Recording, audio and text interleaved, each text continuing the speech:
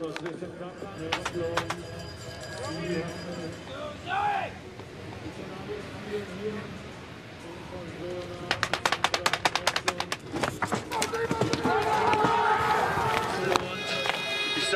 rausgekommen.